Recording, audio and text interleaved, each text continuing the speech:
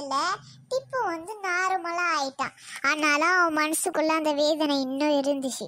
எப்பெல்லாம் ராகா வந்து நான் வேலைக்கு போறேன் இல்ல வெளியே போறேன்னு சொல்லுவாங்களோ அப்புறம் போயிட்டு அப்புறம் என்ன நடக்கும் நீங்களே பாருங்க. நான் வந்து ஒரு வேலை விஷயமா வெளியே போயிட்டு வரேன். சரி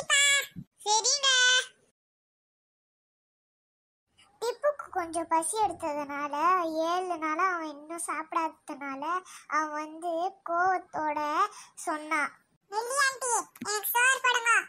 நான் ஆண்டி இல்ல நான் உன்னுடைய அம்மா. நெல்லி மம்மி இல்ல நெல்லி அம்மான்னு கூப்பிடு சரியா? இல்ல என்னால முடியாது. எனக்கு கூப்பிட பிடிக்கல.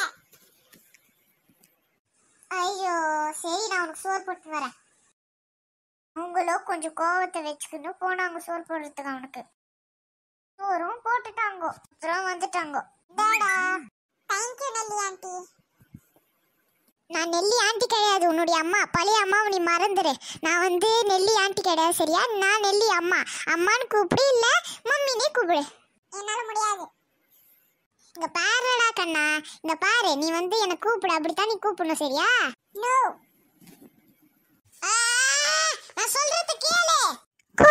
நெல்லி அந்த பிளேட்டை வந்து அவன் முகத்திலேயே போட்டுடுச்சு.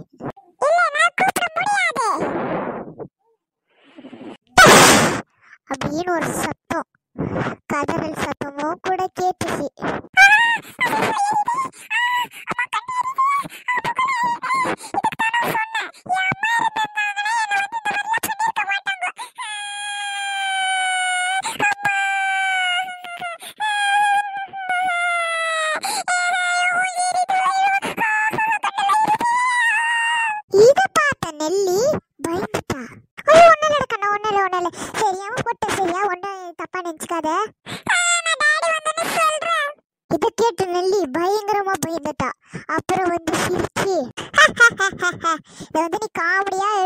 பெரிய விஷயமா எடுத்துக்காத சரியா?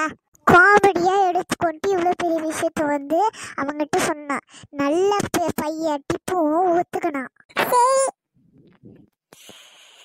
நாளுக்கு நாளுக்கு இவனுடைய கொடுமை அதிகமாயினே போச்சு. இதனால டிப்பு ரொம்ப பாதிக்கப்பட்டான். ஒரு நாள் வந்து ஃப்ரைடேக்கு வந்து நான் நான் வந்து நெல்லி நான் வந்து வெளியே போகிறேன்னு சொல்லிட்டு போயிட்டா. அந்த டைமில் டிப்பு நான் வெளியே போகிறேன் சரி. அப்பா என்னுடைய வாழ்க்கையில இந்த மாதிரியோட ஒரு கொடுமை நடக்குது அப்பா. டெய்லி இந்த மாதிரியான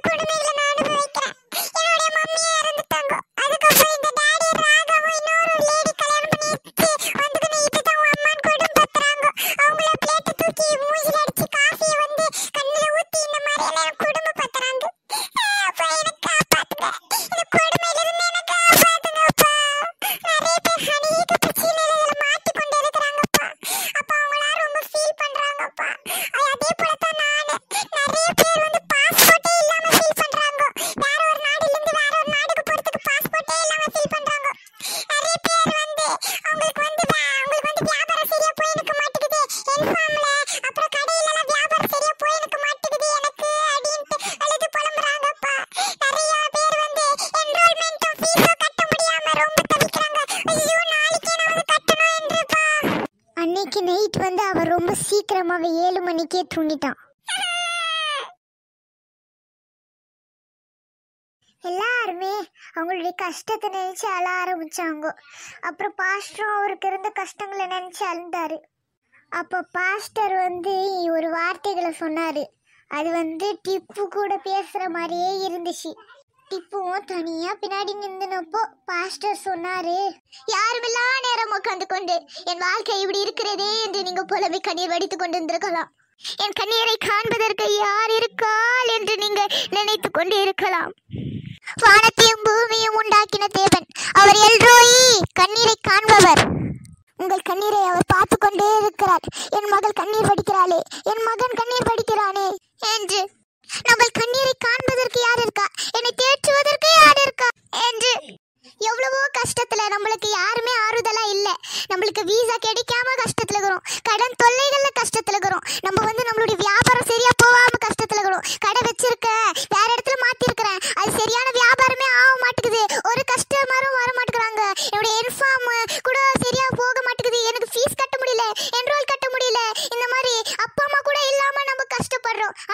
தேற்றல வாழனானே இயேசு ஒருவர் நம்மளுக்காக தேற்று நம்மளை காத்து கொண்டிருக்கிறார் நம்மளை விசாரிக்க அவர் துடித்து கொண்டிருக்கிறார். நம்ம நிலைமையை அவர் விசாரிக்க துடித்து கொண்டிருக்கிறார். தகப்பன் வந்து நம்மளை கேட்கறதை போல அவரும் கேட்க உரிமை இருக்கு. ஆனால் நிறைய வாட்டி நம்ம வந்து அவர் வேணான்னு சொல்லிட்டு மறுதளிச்சுட்டு போயிருப்போம். ஆனா நம்ம வந்து ரொம்ப கஷ்டப்படும் போதும் தான் அவர் வந்து நம்மளை தேற்றுவார்.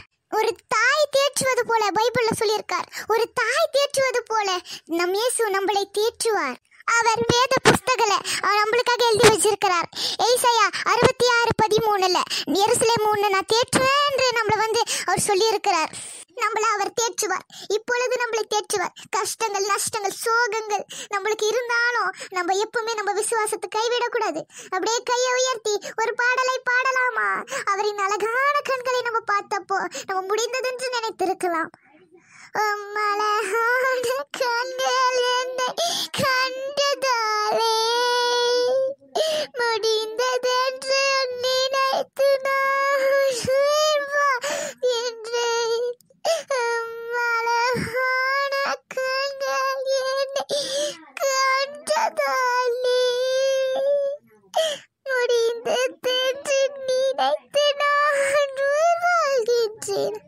அப்பா உன் கண்களை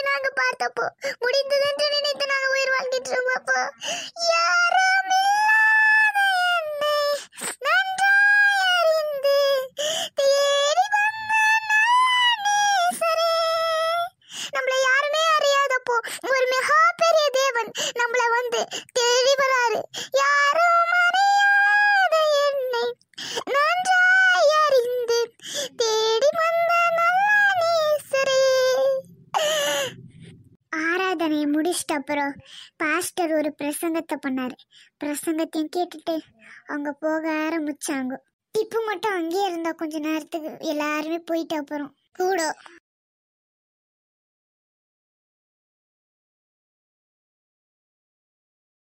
ஐயா உன் மூலியமா இயேசு வெளிப்பட்டார் அது மூலியமா என்னோட பேசினார் நான் ரொம்ப சோகத்துல ஆழ்ந்து போயிருந்தேன் அப்பா இந்த மாதிரியான ஒரு ஆறுதலான வார்த்தைகளெல்லாம் அப்பா வந்து உங்க மூலியமா பேசினார் ரொம்ப நன்றி ஐயா உங்களுக்கு நம் இயேசு உன்னோட பேச ஆசைப்பட்டிருக்கிறார் ஏன்னா உண்மையான தேற்றல வாழன் அவரே. அவர் உன்னை தேற்ற அதே போல ஒரு தாய் தேற்றுவதைப் போல் நீ தாய் இழந்திருந்தாய். நீ ஒரு தாய் தேற்றுவதைப் போல் உன்னை தேற்று. என் மூலியமாக அவர் வெளிப்பட்டார். இதற்கு நீ அவருக்கு மட்டும்தான் நன்றி சொல்லணும். நான் நன் எனக்கு நீ நன்றி சொல்லக்கூடாது. அவரின் கிருபையை இதெல்லாம். நன்றி ராஜா. இயேசுவே உமக்கு நன்றி. இப்போ நீங்க வீட்டுக்கு போறா டிப்பு அப்புறம் வந்து அவன் கொஞ்சம் நல்லா ரெடி ஆயின்னு வந்தான். அவன் சந்தோஷமாக மாறிட்டான். அவங்க அம்மா இறந்ததை வந்து அவன் மறந்துட்டான்.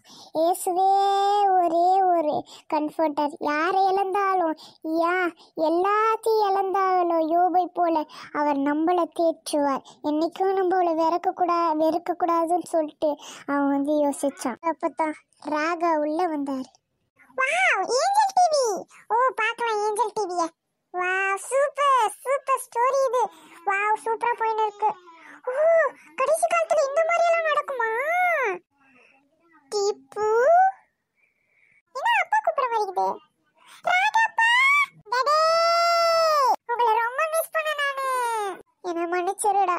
ப்ளீஸ் நான் இந்த மாதிரி தப்பு செஞ்சுட்டேன். பரவாயில்ல என்ன மன்னிச்சிடுறியா? ப்ளீஸ் அஜோஜப்பா என்கிட்டலாம் நீங்க மன்னிப்பு கேட்க கூடாது நீங்க வந்து என்னுடைய பெரியவர். நீங்க வந்து ஜீசஸ் கிட்ட மன்னிப்பு கேளுங்க. அதோட நெல்லி ஆண்டி அப்புறம் நான் உங்களை விட்டுட்டு வந்துட்டேன். டிப்புவும் ராகவும் நார்மலாக ஆயிட்டாங்க. இதுக்கப்புறம் எந்த பிரச்சனையும் இல்லைன்ட்டு அவங்க தனியாக சந்தோஷமாக இருந்தாங்க. இவங்களுடைய ஸ்டோரியில் நம்ம என்ன தெரிஞ்சுக்கணும்னா நம்மளுக்கு வீசா கிடைக்க கஷ்டமாக இருந்தாலும் கடன் தொல்லைகள் என்னுடைய கடையிலையும் என்னுடைய என்ஃபார்ம்லேயும் பயங்கரமான வியாபாரமே கொஞ்சம் சரியாக போக மாட்டேங்குது. கோழிகளை விற்க மாட்டேங்குது. இந்த மாதிரியெல்லாம் நம்ம வந்து சோகமாக இருந்திருக்கலாம். என்ரோல்மெண்ட் நாளைக்கே எனக்கு கட்டணும். ஃபீஸ் நாளைக்கே எனக்கு கட்டணும்னு நம்ம யோசிச்சிருக்கலாம் ஆனால் நம்மளை தே இந்த மாதிரியான கஷ்டத்துலேயும் நம்மளை தேய்ச்சுக்கிற தேர்ச்சில பாலன் ஒரு தாயோட அதிகமாக தாயை போல தேய்ச்ச நம்மளுடைய இயேசுவானவர் நம்மளோடு இருக்கிறார். அவர் நம்மளை விசாரிக்க எப்பொழுதும் துடித்து கொண்டு இருக்கிறார் நம்மளை தேற்றுகிற இயேசுகிட்ட நம்ம தேற்றுகிற இயேசுக்கிட்ட நம்ம எப்போனா அப்பா எனக்கு இந்த மாதிரி எனக்கு கஷ்டம் இருக்குன்னு சொன்னால் நம்மளை அவர் தேற்றுவார். Amen.